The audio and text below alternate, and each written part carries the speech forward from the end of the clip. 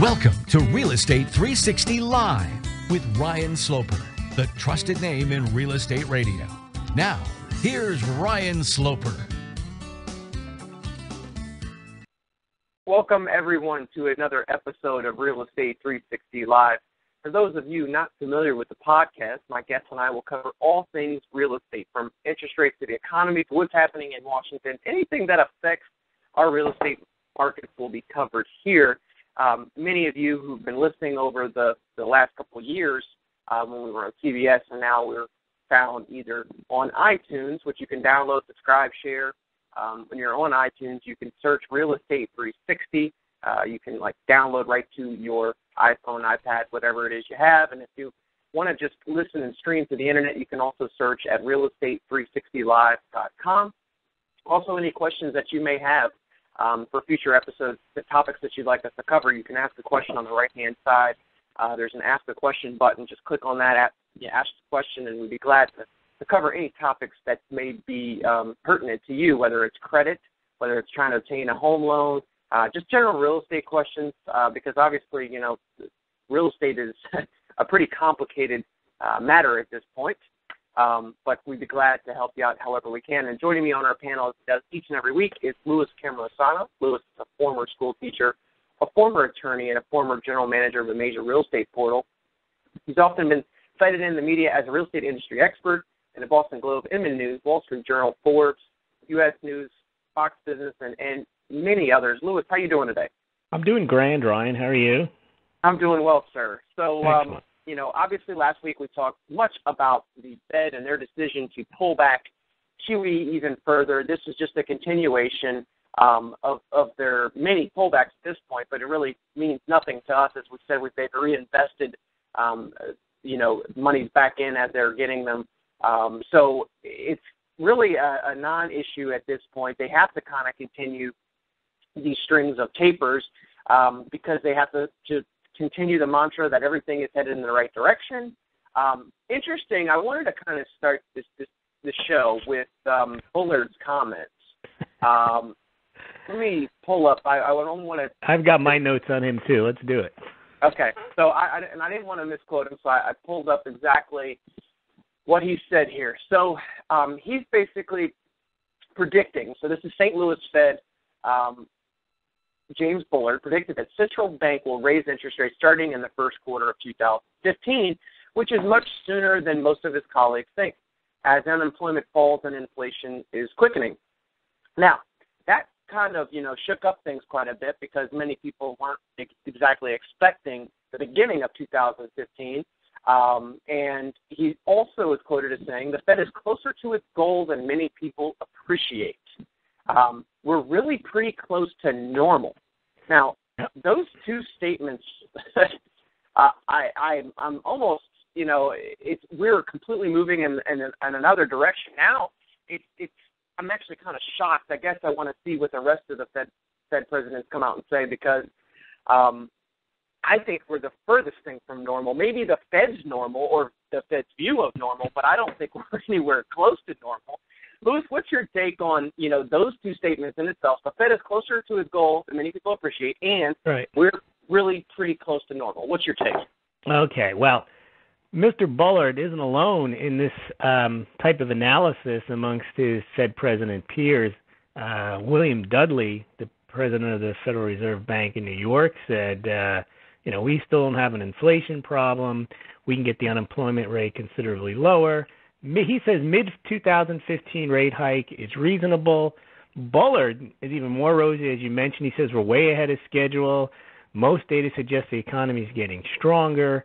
Um, and I think there's a and, and Janet Yellen calls the inflation data that we have recently noise.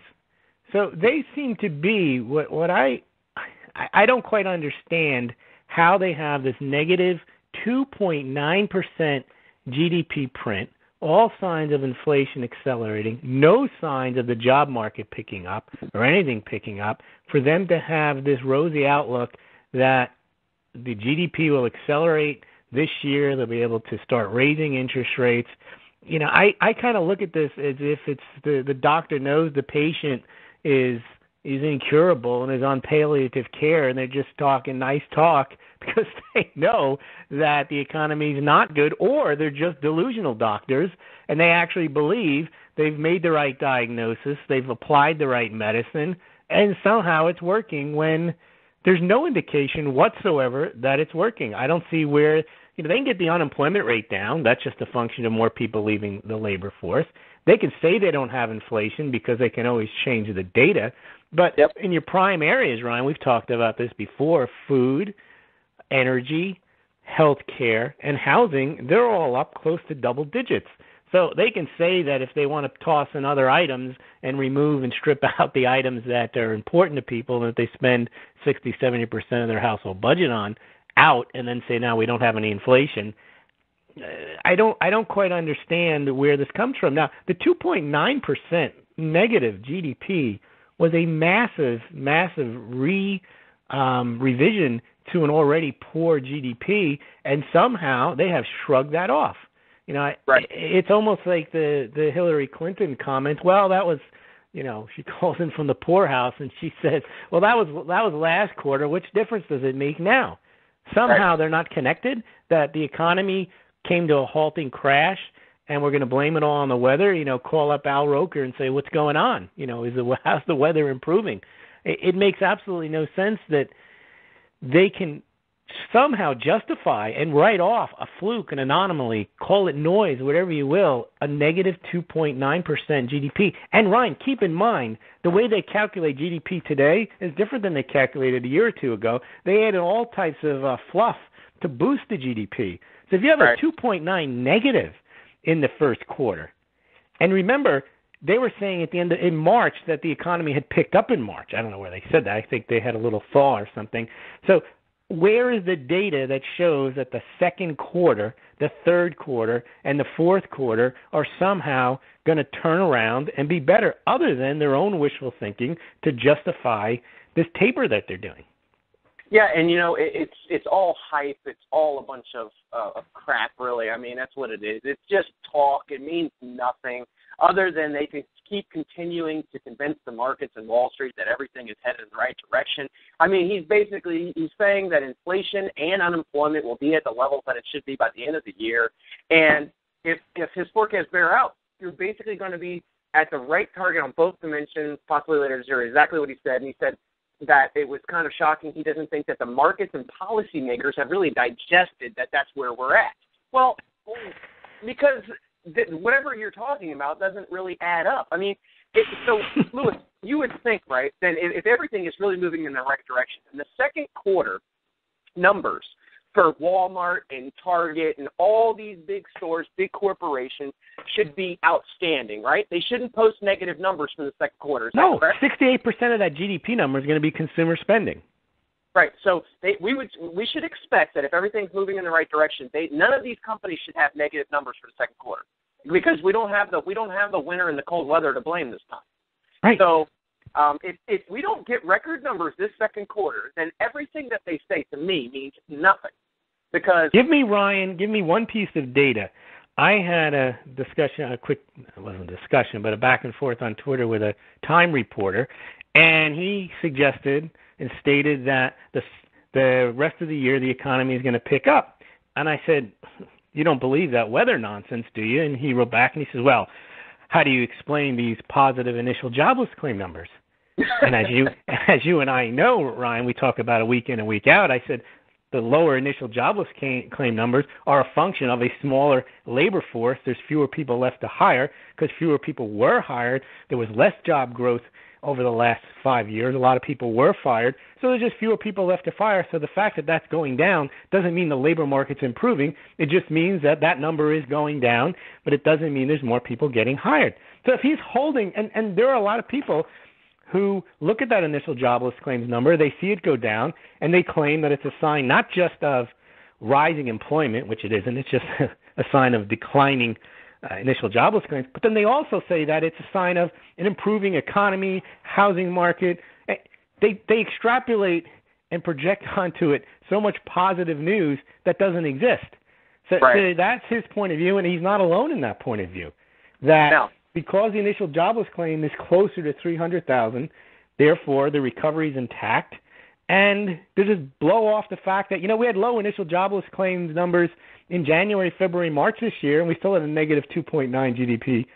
And those numbers haven't improved much anyway. It's not like they went from 320 to 190 in the last uh, two months and say, well, that's a big difference between the first and second quarter. The initial jobless claims have been coming in all year around 310 to 320. So there hasn't been a dramatic improvement. And in the first quarter, if you're going to use the initial jobless claims as an indicator to GDP growth, didn't happen in the first quarter, and they right. haven't gotten better since.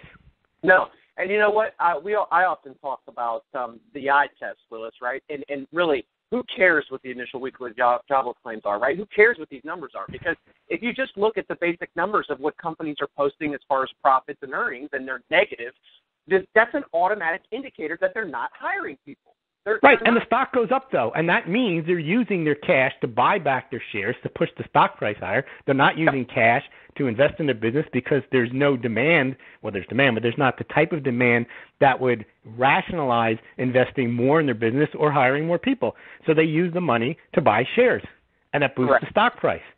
Correct. So you know what I really feel the reality is. The reality is is that James Bullard didn't want to come out and say that we really we really have major inflation issues. The reason why they're making this move to me to say at the beginning of 2015 is because they know that the inflation has kicked in into overdrive at this point, and they absolutely have to start raising these interest rates as soon as possible because guess what? The inflation's out of control, and I think that they they're not going to ever come out and say that. They're going to say that they're moving towards their target, which which basically means that we probably overshot that a big time, and they know it. They know it. So it's only a matter of time before they're forced to raise interest rates, not because they've hit the, you know, they haven't already hit their target, because they they they well exceeded that a long time ago. Right, um, even by their own measure, the annual rate in the last two months CPI is over 2.1 percent. Right, and to keep you know to keep these interest rates low, even lower for an extended period of time, I mean, it's just going to put even more of a drag on the economy. Um, it's it's forcing their hand. The inflation's already there. Louis, you and I talk about this time and time again if if you strip out food and energy costs, of course the numbers are going to be skewed.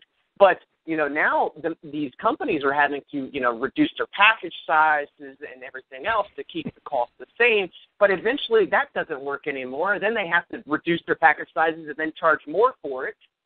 So um, this has been taking place for some time. Um, I think that you know this is it, it, definitely a very telling indicator. I looked and I had really paid attention lately to what's taking place in the credit markets, and since you know these companies really aren't making any money, I, there was a good article um, that was uh, basically it was on Zero Hedge, and the, the title of the article was "My Credit Score is Terrible. I'm surprised he gave me so much credit." And it went into basically talk about banks and lenders have issued 3.7 million credit cards to so-called subprime borrowers during the first quarter of this year, which is a 39% jump from a year earlier and the most since 2008. Now, what's interesting is about one third of all the credit cards that were issued in the first quarter were to subprime borrowers. Now, why would that be the case? The reason why that, that's where the market is. That's and and if if if one most third people of the are market, subprime nowadays. Yeah, and if one third of the market is subprime, so essentially that means that okay, well let's go ahead and strip out one third of the people from the real estate market, right? So we only have two thirds left to even to even potentially talk to, and then I guarantee another third of them are not even in a position to buy.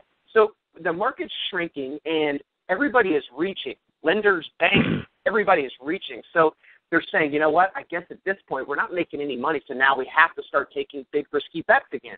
So right. they're, they're they're issuing credit cards. Credit cards is a is a is a easier play than lending a mortgage to a subprime borrower, right? Because you're not lending two hundred fifty thousand. You might be lending twenty five hundred or, or five thousand mm-hmm. dollars.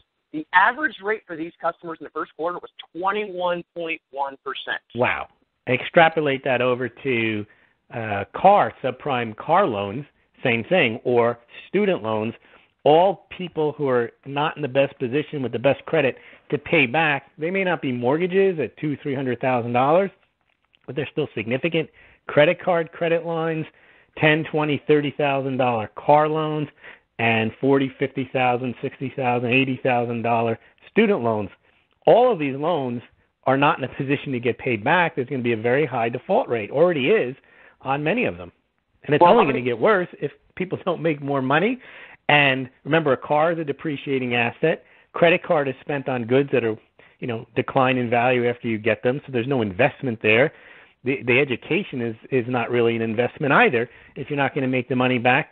So if in a car, a credit card, and a student loan, if you're not getting a return on the investment that you make in those or the money that you spend on them, chances are you won't be able to pay them back.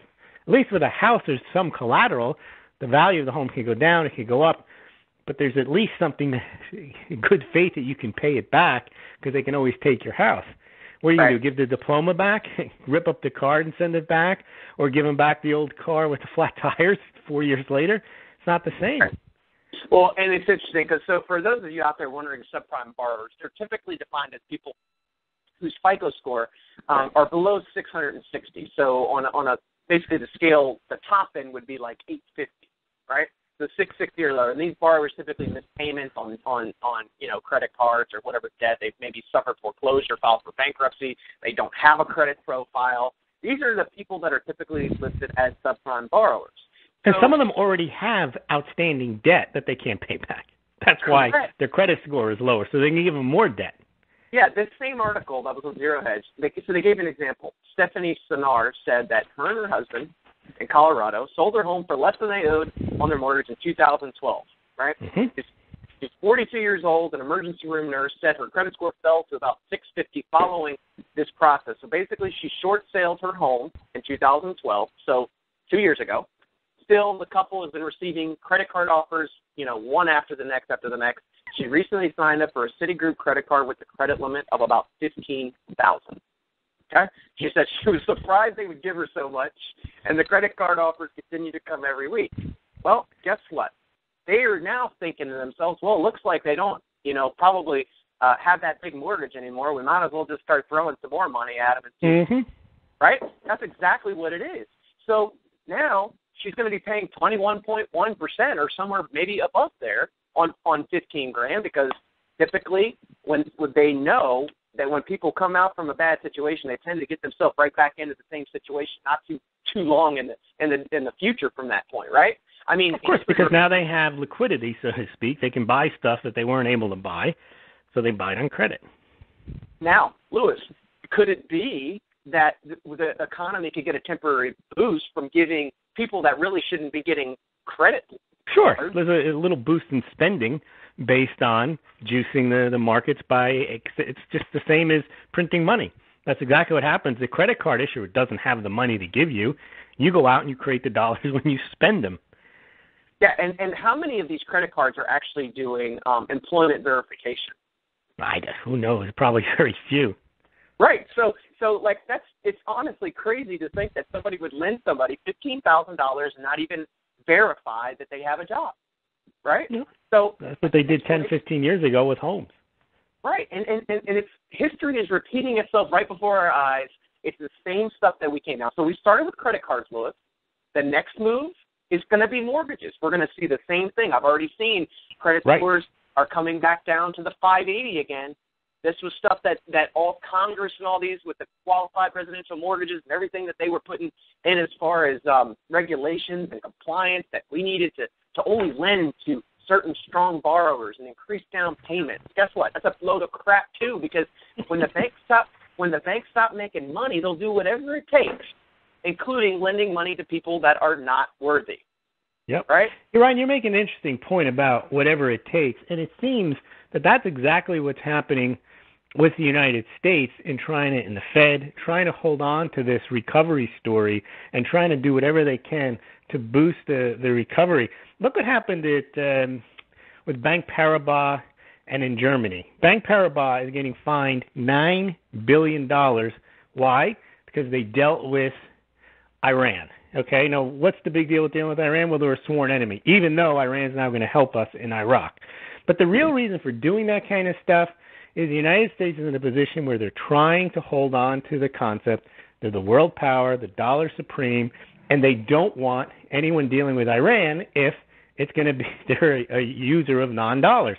So they have the audacity to slap a nine billion dollar fine on an ally, the French, Bank Paribas, you heard the recent story with the German repatriation of gold. They had requested half of their gold back over a year ago that was being held at the Federal Reserve, um, and the Fed said no. Then they said they said, well, wait, can we come see it? And they said no. They said, but what we can do is we can send it back to you at least half of what you asked for over seven years. Well, a year later, they sent back less than 5%. It wasn't even the same gold they had on deposit. It was recasted um, gold bars. Well, just two days ago or three days ago, if you saw this, Germany released a statement and they said, you know what, we we don't want our gold back. That's okay. There's never been a question of of its security. We we trust that the Americans are taking good care of it. Now, what do you think happened there? That sounds like a hostage video that was released. They were probably told to be quiet, shut up, because A, you're not getting it, and B, we're not really a big fan of you going around saying and trying to create this distrust again in the right. Federal Reserve that we don't have our gold. So they make a big public statement, which doesn't pass what you call the eye test, where all of a sudden, you know, the the the circumstantial evidence is, well, you didn't let us see it. You didn't let us come and look at it. You refused to send it to us. Then you said you'd send it to us. Then you said you sent it to us over seven years. And then you only sent a small amount, and it wasn't the gold that we had given you.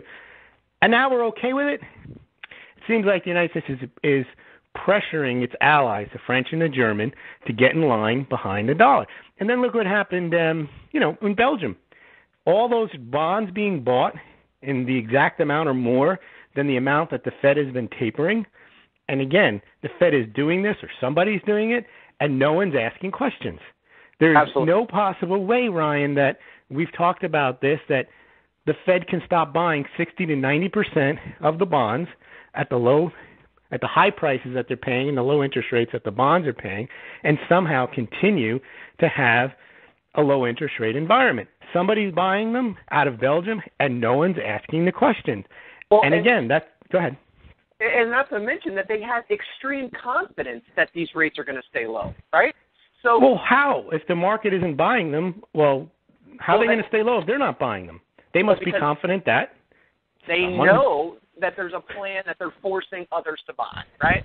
There, Correct. It has, there's no other there's no other explanation for it. No, and this no is other... all heavy-handed stuff with the Germans with their goal, with the French with Paribas, with the Fed. Hey, we keep interest rates low, and it's just going to happen. And the final one, Ryan, that's been troubling me is the IRS. Oh, yeah. They have just basically said, we'll give you, it's just like with Germany. It's the same kind of thing. Okay, we'll give you the emails. Where are the emails? Oh, um, we don't have them. All right, well, can you get them to us? No. Why? Well, the hard drive crashed. Okay, well, give us the hard drive. No, no, we don't have that. That that crashed. Uh, that got destroyed. Oh, okay. Well, then give us the backup tapes. No, we got rid of those too. All right. Well, then give us um, all the emails, the emails that came from Lois Lerner things. No, those hard drives crashed too. I mean, is this type of stonewalling that we're yeah. seeing in every element, which to me is a is a sign of when someone is you know desperate to hold on to power, they do yeah. these type of heavy-handed um, activity where they either refuse to tell you anything, don't tell you anything, or threaten to, to stop asking questions yeah. and to impose fines and so on. And and that's where I think things are very troubling because it ties in also to what you mentioned at the top of the show with Bullard and the other Fed presidents talking about there's not a problem here. 2.9 percent GDP negative, not a problem. Inflation rising, that's just noise in the words of Janet Yellen. And then to come out and say everything is fine and, and things are going to be better, and we're going to taper this thing, as you say, knowing that someone else is going to buy them. It's it's just a way of trying to show that they're in charge, even though all the data indicates they're not. They don't right. have the gold to give to Germany. You know, a nine billion dollar fine with France. There's no point in doing business with the United States as a bank if you're going to have to pay nine billion dollars. Right. Right. And then yep. with the IRS, there's there's not an excuse for that. You, well, you I, can't. I don't care whether the issue is. It's the same with Watergate. You say no one's harmed. Who cares? The fact is, if you ask someone for something and then they flat out tell you my dog ate it, yeah. and you're not I, getting it, right? I mean, unbelievable. The morals of this country are just getting washed down the tubes. And I, so, what happens the next time you or I get audited by the IRS, Louis? Are, are we allowed to say that our hard drive crashed and we can't provide that documentation? What are they going to yeah. tell us?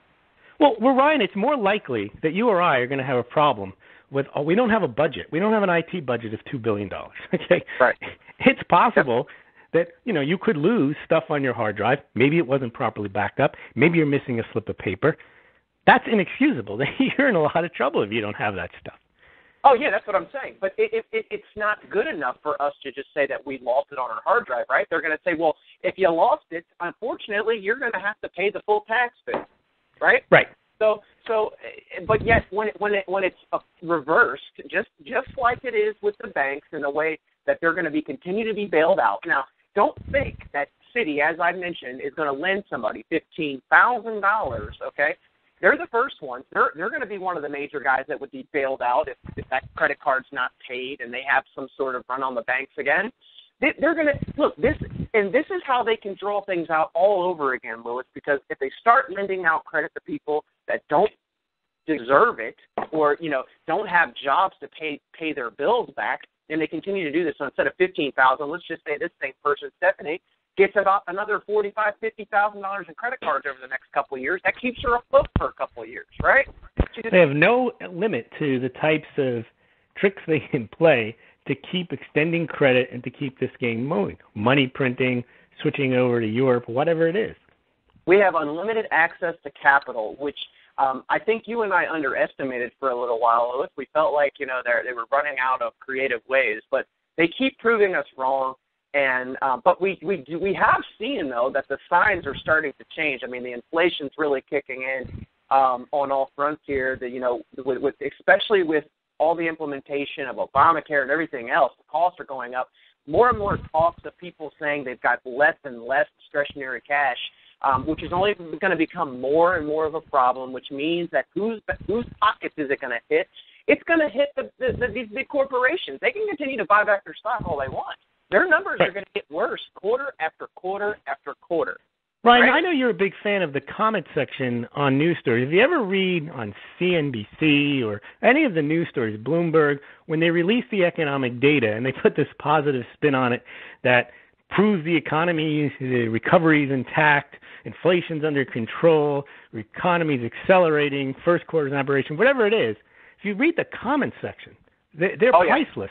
Yeah. They they they they basically take the other side of the, of the talk and no one no one challenges them because there's not people in a position to say yes my economy is good is that good that i'm going to endorse what's written above in in the news media story.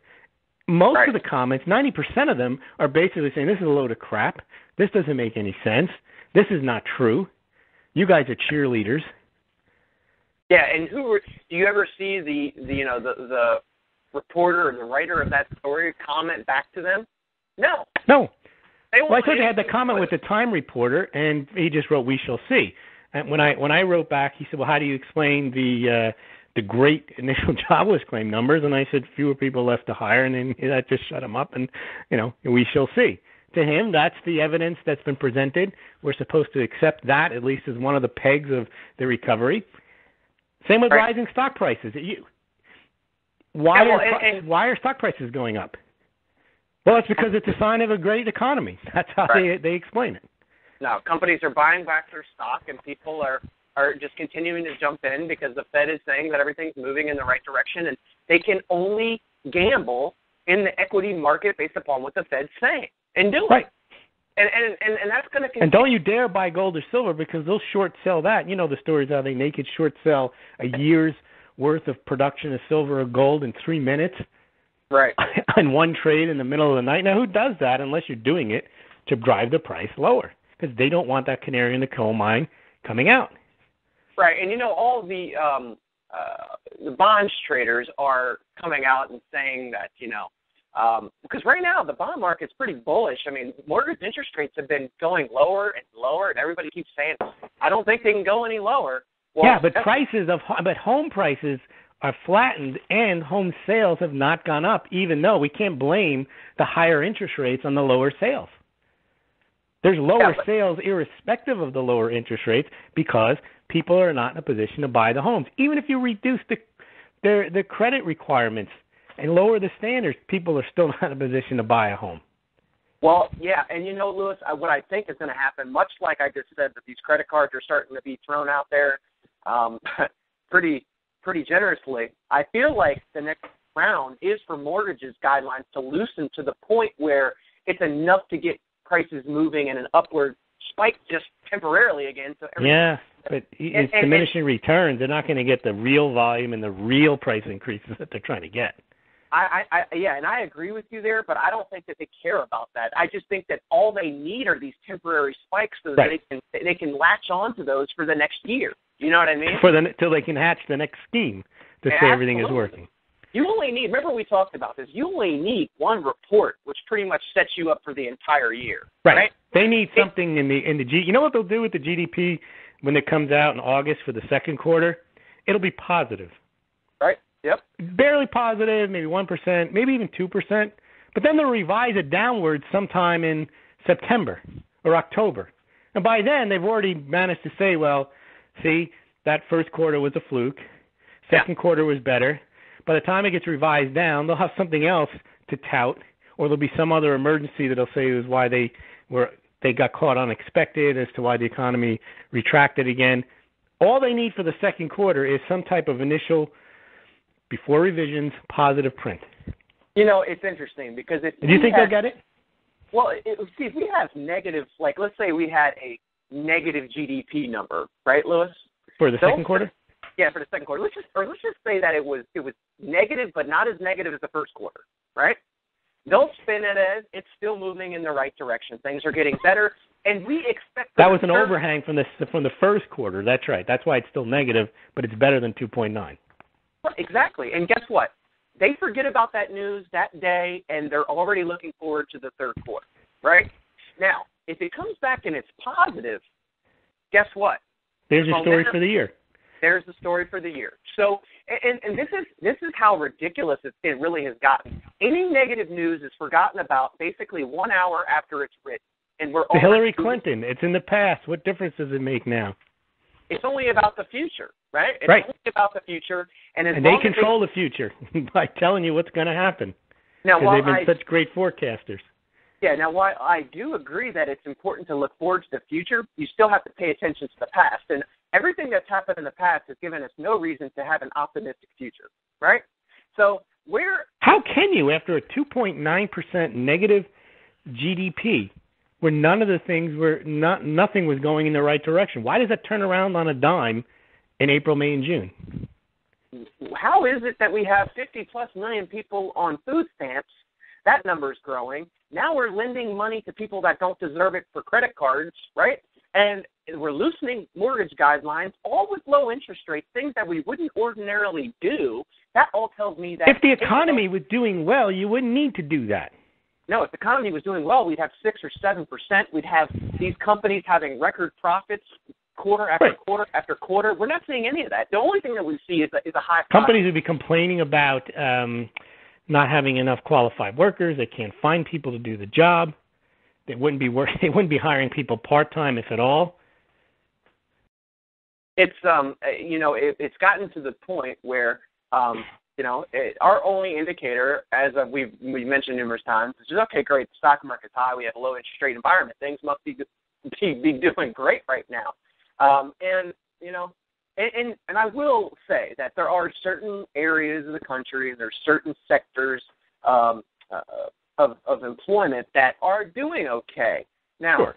there's anomalies to every market, as we talk about all the time, and that's true for real estate. Like if you if you go into Washington D.C. right now and you're trying to find a house, there's 20 contracts on these homes. Okay. Now, granted, the supply, the supply there's not near as much of a supply because D.C. D.C. is a much smaller area to begin with, right? So there's And it's also it's also a unique area in that it's the one area where government spending has not dropped, and there's still a lot of government jobs and government contracts. right. So when we have these numbers that are are you know not And by the way, New York and San Francisco are also different because New York is San Fran- eh, New York is Wall Street, where you know the money's there, and San Francisco is all the VC money that feeds Wall Street. So those areas, along with Washington, are going to do well. Well, you know what I found interesting. So I was watching a, a real estate show. I can't remember what it was. Um, one of those uh, real estate something in New York City where um, it's one of those a- agents. Uh, they they follow around three agents in New York City, and Mhm. one one of the agents was talking to a prospective seller, and he was saying, okay, you know, well, so what do you think your house would sell for? And the seller said, well, ah, I'm thinking two million. And he's like, well, you know that the highest thing in the building is is probably around like 1.5, 1.6. His response is, yeah, well, people buy real estate in New York based upon the stock market, right? As if an appraisal or or the number he was asking didn't really matter because it's the sentiment of what's taking place in people's stock portfolio that, That is a bubble sentiment.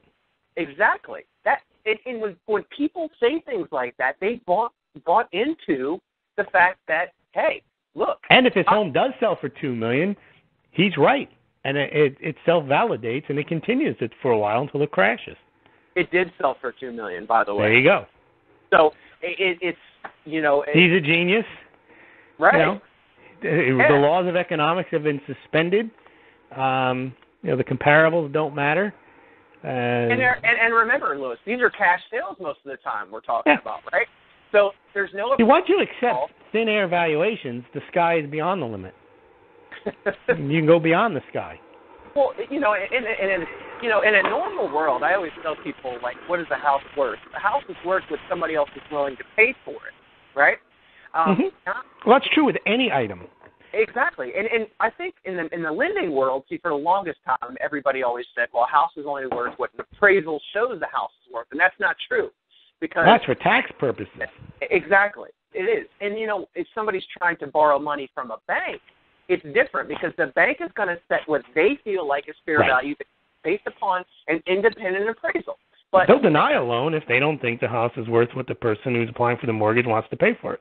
it, it, you're 100% right, and it's exactly when I see certain sales in a neighborhood that are anomalies. Like, let's say that a house has got every option. It's got, you know, copper ceilings and crown moldings and pools and verandas and all these things that all the other houses on the street doesn't have.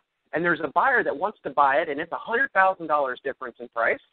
And if they really want it and they have the cash, they can buy it at that high price. Right. Now, if you don't have a cash buyer and there's a lender involved, it's a little bit sticky because if the appraisal doesn't come in at the sales price, then the buyer is forced to, to come up with the difference between what the appraisal came in and the sales price. So in many markets where there's not a lot of cash buyers, it, it's you know I think that it's it's there are a lot more downward pressure on prices because employment's not very good, right? And if employment's not very good, um, then there's not going to be near as much cash in there, and everybody's going to be dependent upon getting a loan, 100% Right. financing. And when you have that, the, I feel like those markets, and that's why DC, New York, San Francisco are thriving because that's where the cash is. Wherever the cash is, where the markets are going to move the best. And well, those markets area- have what 50, 60 percent cash buyers, as opposed to the national average, which is around 38, 40, which is still very high. And I'm A- sure they don't have a lot of first-time home buyers in those areas either. Oh, I know, and you see, they're, they're, the first-time homebuyer programs, the ones that um, are looking at like 100% financing. Uh, one in particular, I think that we mentioned on the show before, was uh, NASA Federal Credit Union, right? And all you have to do to be a part of this credit union is basically open up an account for five bucks, and uh, all of a sudden you're part of the National Federal Credit Union. They have a program, 100% financing up to 650,000, 5% down up to 850,000. Okay. That doesn't get you anything in Washington, New York, or San Francisco. Right, but but when you, when you look at it, so what are the the credit score requirements? I believe the credit score requirements are 720 plus, right? So you still have to be a prime borrower in Right. order to to get those programs. They're You not got a very small pool there. Now. I will tell you, Louis, if I see that they all of a sudden make the move to where they have these same programs and it goes down to a 660 or 640 credit score, it's going to change the game a little bit because I Mhm. think because when they open up and and if you remember where they used to have all these down payment assistance programs, um, FHA did, where essentially you could have the seller uh, gift you the down payment, and they start getting creative with these things. That's when we'll see that temporary spike in prices throughout the country that I mentioned, which will won't. It, it's not going to be sustainable. It's probably not going to go on forever, but I think it'll be a temporary boost throughout the country enough to where it's, it's everybody's like, oh look, housing is back again. Right, but that's right? a very minor, minor echo boom because you cannot repeat. There's just not enough cash out there, qualified people, job situation, to kind of produce the price increase and the sales increase that we had in 2004, five, and six. Yeah, and, and you know, I think that there. You know, and that's the real isn't isn't that the real issue that whatever they manage to squeeze out, it's it pales in comparison. New home sales, yeah, they've been up. They're up the most in six years, but uh, six years ago was one of the lowest years on record, so it's not that big of a deal. Housing sales, existing home sales, up a bit, but not up compared to where they were seven, eight, ten years ago and they were, they were up three times more than they are now. So the volume yeah. is really, really low. Absolutely. I, I mean, I, I agree with you. I think, you know, and like I said, it, it all depends on who you talk to. I mean, I know obviously, you know, I'm in a I'm in a pretty hot market because I'm in the DC metro area. So, right. you know, I'm always looking at things. Uh, I, I take what's going on here locally, but then I can still look at the national perspective, and, and the numbers are typically skewed because of my market, right? My market is skewing these numbers because I'm on the high side and not the low, not the low end. Right. Um, but realistically, it's it there still is major effects that even you know uh, really uh, are important to to my area because not everybody in DC Metro has a lot of money, right? The the suburb the suburbs, I mean DC Metro is huge anyway. So all the suburbs and stuff are the ones those areas that are on the outside are the ones that are typically having prices stagnate quite a bit, like that you're mentioning, Louis. It's the ones that are right in the city that are very high, and as you get further away, um, even just 15, 20 minutes are mm-hmm. they're leveling off. You know what I mean? I'm not saying like an hour away. I'm literally just saying a little. But an hour away, they they probably might even be flat or declined a bit. Well, but you know it, what happens is, is when you get about an hour away, what I'm seeing is those prices are considered more reasonable, right? Uh-huh. They they might be homes that are only like 200 or 300,000. Those markets are actually moving pretty steady. So I, there's such a price sensitivity to the market. I mean, it's, and I think what it really boils down to is what can you get a mortgage at? Is it and, and how is that in comparison to what you would pay for rent? So right. it, it, that should always be the case, other than for people buying is. for investment.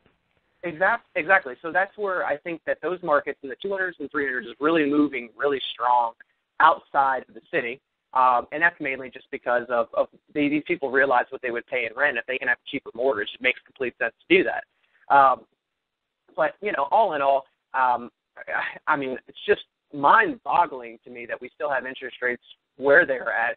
Um, but the Fed is, like I said, they've got extreme confidence that rates will still stay low regardless of how much they taper, and that's only because they know that they're they're pretty much either forcing somebody's hand to buy these, or they've all had a a, a meeting that basically said, "Hey, we're going to need your help," um, and then in in turn, if you give us help, we're going to give you help, right? Right. Well, that's how central banks work.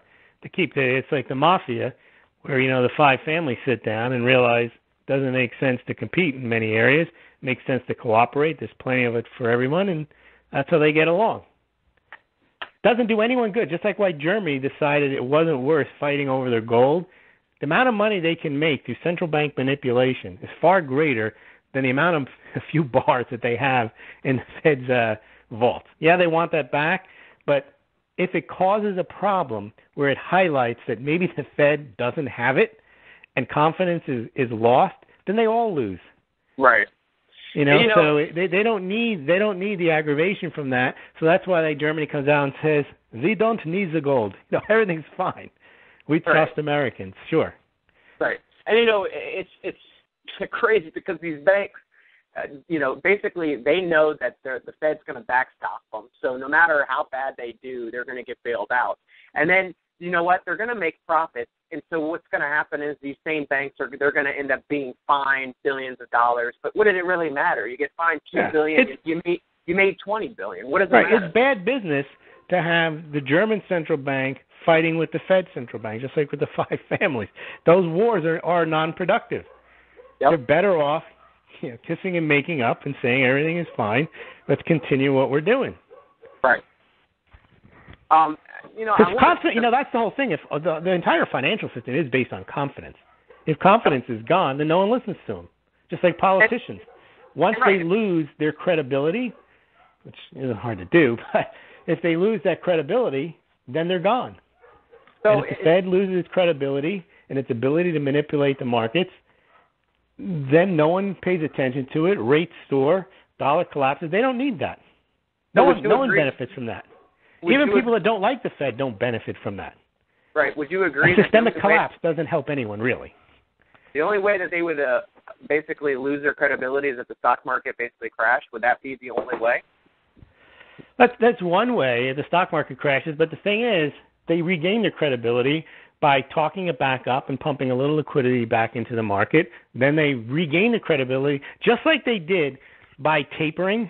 There was a point now, you know, it was five years into QE. People are saying, wait a minute, you guys are not prudent stewards of the dollar. You're printing too much money and it isn't working. Well, they they took that to heart and they said, "No, you see, it is working, and we're going to stop because we're prudent. Look at Europe now; they're on negative interest rates. That was all coordinated to give credibility to both central banks. The Fed is credible because they're prudent now. They've drawn down the QE. It worked, so that's credibility. It's credibility for saying what they were going to do. They've stopped it, even though they're still doing it. And it gave Europe the credibility to go negative because they kind of have to because look at the successes over at the Fed. So they didn't need this German gold repatriation story mucking that up. Right. That would un- that would that would undermine their whole we're in control and we know how to manipulate and we, we can run these economies properly. Well, if you can't hold on to somebody's gold, who's going to trust you with anything? no, seriously. I mean, if someone says, "Oh, I'm trustworthy," I'm going to leave you my two kids and my my 16,000 tons of gold. And when you right. come back, one kid is missing and and the gold is gone. Uh, you have you really can't say, "Well, trust me with anything else." Your well, credibility's been destroyed you know, the funny thing is, Louis, you that that's a that's a funny statement there, but I'm almost convinced that the Fed can overcome almost anything and, and spin that somehow to be positive. You know what I mean? I mean, yeah. we, we have honestly reached the point of like, I, I mind-boggling some of the stuff that I read. Right? I'm like, did he really just say that? Like, for, well, look at the IRS thing. The guy says eh, the hard drives crashed. They have no backup. Coincidentally, the six other request to have those hard drives crash. Hard drive crash, if you know Ryan, if my hard drive crashes here at this computer, yeah, there's no correlation between your hard drive crashing. Correct. It's different than if the server went down and wiped everything out, then everyone's affected. But no, six they, people's hard drives don't crash. No. Coincidentally, you know. No, they were they were all dr- dropped off of a plane somewhere and into the ground right? I mean, they don't just all disappear, and it's just like Bullard say, we're really pretty close to normal. Yeah. Who's who's normal? You know what I mean? Well, the numbers that they well they are. If you look at their numbers, the unemployment rate is down. Doesn't matter why it's down, and there's a reduction in the labor force participation. That doesn't matter. Inflation isn't really that high if you use their CPI number. Correct. So they're doing what they're supposed to be doing and that's exactly why they they would not like my eye test because my eye test oh up to the Brian, you you create the test, not an eye test, but an actual test, and then you score yourself. Right. And you give yourself high marks. You make a few mistakes just for credibility that you're not perfect. Yeah. that's what they're doing. Yeah. And everybody else is looking at it and going, "No, you you couldn't pass any test that we gave you. You're a moron." Right. well, no, they say, "Here's my report card." And the point is, they're in charge of the standards, they're in charge of the school, they're in charge of the accreditation, so they're passing with flying colors. Yep. Very true. Uh, you know, I did want to touch base, Louis. One, uh, we didn't give a credit tip for the last couple of weeks, and I did want to give a credit. Let's do it. Um, so this uh, credit tip obviously is brought to you by the Credit Pros. Um, credit Pros is one of the companies that we use for a lot of our clients that have credit issues, um, and so many borrowers that are trying to uh, obtain home loans, they have what are known as debt to income ratios, where as a percentage of their income, um, their debts, including their housing ratios, are too high, not proportionate. So many people co-sign on student loans. So like let's say that's you know um, your kids when they go off to college, if they do go to college, Louis, that you're going to basically co-sign for a loan for them, right? So let's say that now your kids are now out of school, they've entered the job market, and now they're going to go apply for a loan, or they're going to apply for a loan. Um, but, or actually, let me take that back. Not them, but you, and you're now responsible because you're a co-signer for them, and you're going to. I've added that onto my credit portfolio. Is what you're saying? Correct. You've now added that to your credit pro- portfolio because it's a debt that you co-signed for them, and you're still responsible. Well, mm-hmm. what the credit pros actually tell you, many people don't know this, is if you're a co-bar on one of these type of loans, um, and the loan is in repayment, you can potentially ask them to do what's called a co-signer release. Many people don't even know this, but with student loans, it does exist. And if removed from your report, it's a potentially where just the just your kid could potentially, you know, I'm, I'm using you as an example, Louis, but just your kid would be responsible, and your, your it could be removed from your credit profile. Um, so many lenders advertises uh, that a co-signer may be released from a private student loan after a certain number of consecutive timely payments and a credit check to determine if the borrower is eligible to repay their own loan. So okay. um, your kid would still have to be able to qualify uh, to be able to pay their student loan back in order for you to get that release, right? But why that is important is because just imagine, Louis, if you co-sign for your kid's loan and it's an $800 a month payment, right? That would be a huge debt to income problem if you're going to buy another house and you already have another house and then you have an $800 student loan payment. Right. There. So and a twelve hundred dollar insurance payment. Health. Correct. Correct. so I think that um, you know this is it, it's not going to you know help everybody, but like once again these credit. how do, what's the rationale for getting that off there? What do you have to What do you have to do to do that, and why do they give that to you? So typically, what you have to do is you have to contact um, the the lender of, of the student loan, right? So okay. it's Sallie Mae or whoever it may be, um, and find out what their criteria is for getting a co-signer release. Meaning, like, is it how many payments had to have been made on t- on time before they would consider giving you that, right? Now, do you do this, or do the credit pros do this for you? Well, if you want it done more quickly, I always suggest you just having the credit pros do it for you because they're going to know better, you know, better questions to ask and things to get things expedited, right? Because anytime you try to go about these things on your own, it typically is a, a much slower process. So I typically tell them just to go through the credit pros, and and they'll find out for you if this is even a possibility. Um, you know, and like I said, it's not going to typically help everybody, but for those out there, many parents who have co-signed for their student loans and their their kids, um, you know, are if they do have a job now and can can't afford to be that main borrower to get yourself removed, I would do that. It's good to do it anyway because you don't need more debts on your credit report than you than you have already. Um, so all you have to really do is you can call the credit pros. It's eight hundred one eight hundred four one one three zero five zero, or you can just reach out to me. I'll glad, gladly put you in contact with them. Um, but once again, this is just another tip that I wasn't even aware of, Louis. I wasn't. That's a good one. Yeah, I mean, I wasn't aware that you could release yourself as a co-signer. Um, and obviously, every lender is going to have some different stipulations, but it is a possibility, and um, it, it can't hurt to ask and find out if it is if it is a possibility, and if not, what you would have to do to qualify for that. So, um, hope that was helpful, um, guys. If you have any questions for us for future episodes, if it's in regards to credit, loans, real estate, please reach out to us at Real Estate 360 Live, and on the, the right hand side there's an ask a question button. Louis, we're coming up on the end of the show here. I want to thank you again for coming on. Please Thanks let our let our listeners know um, where they can contact you and uh, check out your weekly blog. Sure. You can reach me at smaulgld.com, S M A U L G L D, and every week we have one, two, and up to four blog posts on the economy, real estate, gold, silver, anything that affects your personal finances. And we also are on Twitter Smaulgld. So please check us out. Awesome. Thanks, Louis. Thanks, Ryan. Thank you guys for tuning in, and until next week, take care.